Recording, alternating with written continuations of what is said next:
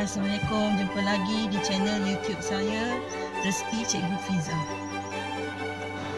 Kali ini saya nak tunjuk cara memasak kurma ayam. Bahan-bahannya ialah ayam seekor yang dah dipotong kecil, kentang 3 biji yang saya dah potong juga kecil dan rendam dalam air. Ini rempah kurma 3 sudu besar bahan tumis uh, bawang besar sebiji bawang putih empat ulas kemudian halia seinci ya saya cincang kasar. Ni serai dua ke, dua batang um, asam keping dua kemudian bahan tumis kulit kayu manis buah pelaga dan juga bunga lawang. Ni perasa garam gula ada santan satu kotak kecil. Air sedikit. Dan minyak untuk menumis. Kuali ni saya dah panaskan. Ok sekarang kita masukkan minyak ya cukup untuk menumis rempah itu panas sekejap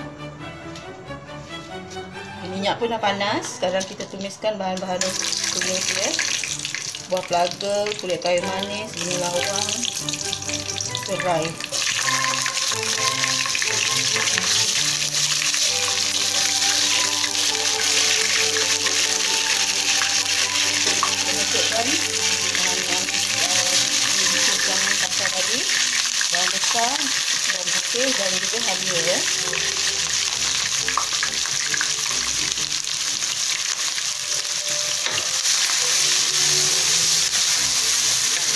kita tumiskan sampai dia seperang-perangan ya.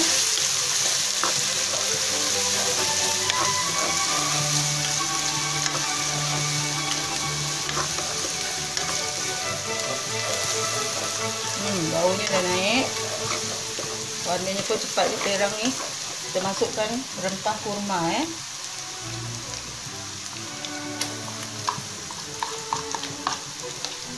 Rempah kurma ni saya dah campurkan dengan sedikit air supaya dia tak cepat hangus ya.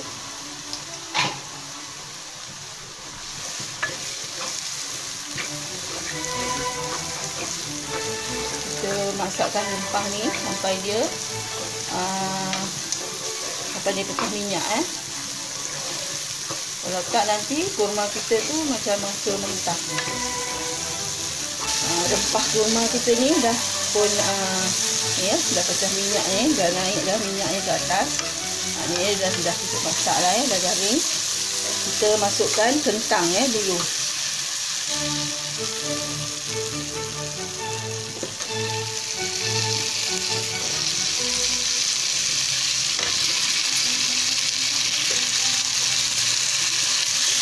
Kentang ni kita kena empukkan dulu sebelum kita masukkan ayam ya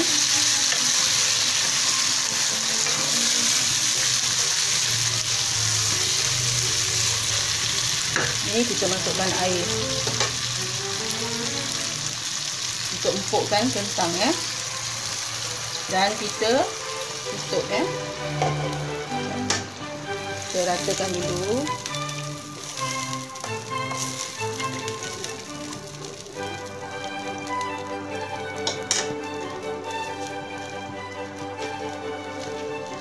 Kita tutup uh, untuk biarkan kentang kita ni empuk. Okey, kentang kita pun dah masak dan empuk eh. Dalam masa 6 minit macam tadi, uh, tadi. Jadi sekarang kita masukkan uh, ayam.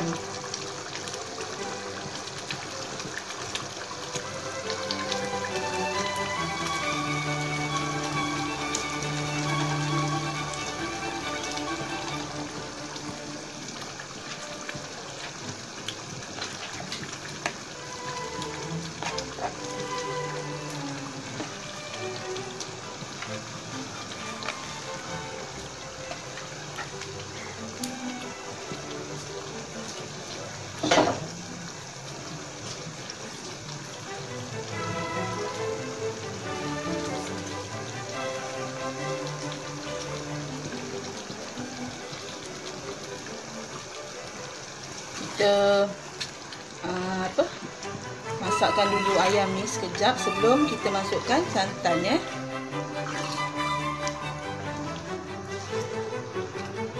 Biar ayam ni keluarkan dulu air dia.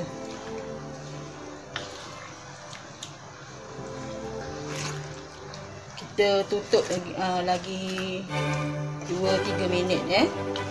Untuk ayam ni masak.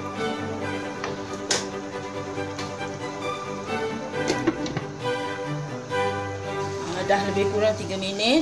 Ayam kita pun dah keluarkan air dia. Sekarang kita nak masukkan santan ya.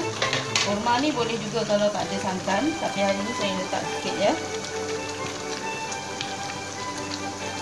Ok mungkin separuh kotak ni. Masukkan asam keping. Dan juga perasa ya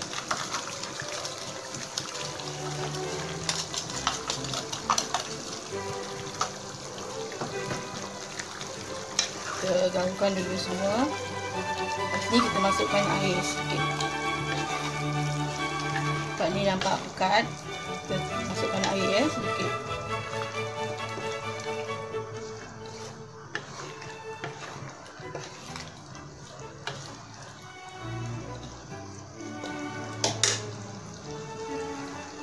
Okay, masukkan air